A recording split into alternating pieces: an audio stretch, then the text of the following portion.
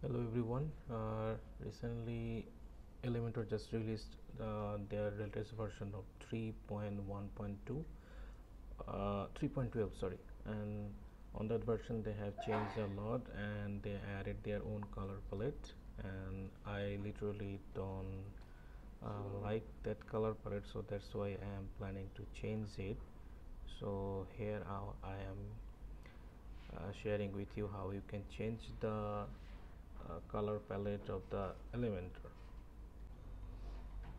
So this is the color palette new color palette of elementor. You can see this is all pinkish everywhere. If you add any uh, section an element or any container you will get this color. And if you publish any item you will see all the pinkish color here but I don't like because it's burning my eyes.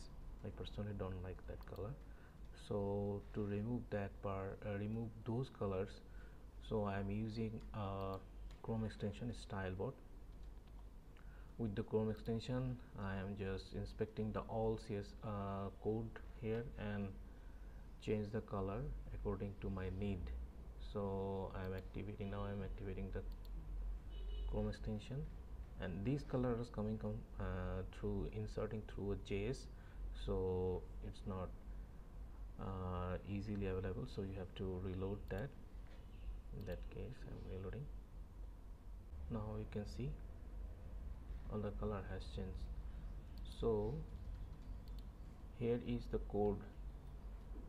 I have uh, code I have inspected from the browser and I will share the code with you. So you can change the color here. All the colors are here pink so I have changed it according to my need now the all colors are now this way and all the things are coming from here. That's it